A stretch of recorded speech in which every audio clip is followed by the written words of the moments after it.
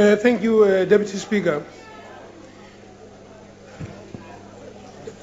When our country ratified the Rome Statutes in 2002 2003, we were not compelled by anybody. We did so of our own accord. And we did so because of our steadfast commitment to cherish human rights, to prevent genocide, and act against those who committed such heinous crimes. All of this was known to the president and his executive. So when President Zuma's government gave, gave President al-Bashir an assurance that he could come to South Africa with legal immunity, it took an express decision to transgress the law of our land and international law. When the president and some of his cabinet ministers defied the order of the courts not to allow President al-Bashir to slip out of the country while it considered the case, they acted in contempt and in di direct violation of the authority of our judicial authority.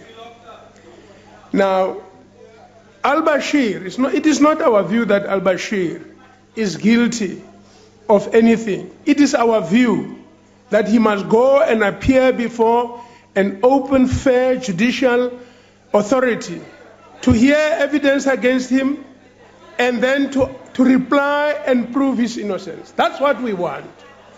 And that must be done because we should have asked, you should have asked those questions when we signed and ratified in this house. If you didn't want to, if we did not want to obey this thing, we should have taken action to, to, to then re reverse our commitment to this thing. This thing that's been done in the name of the people of South Africa is a serious crime. The leadership, eh, President Zuma and his cabinet, and those who colluded with this thing do not deserve to lead us.